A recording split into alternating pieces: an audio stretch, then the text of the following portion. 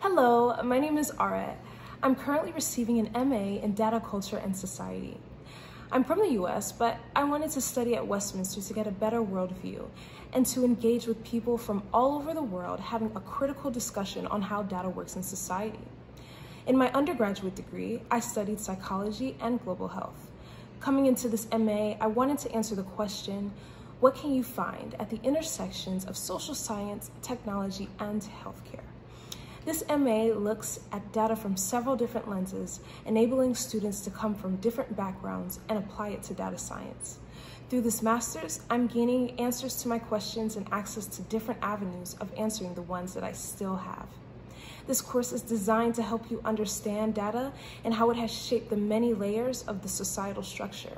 So no matter where you come from or what you've studied, this course is tailor-made to help you navigate the future.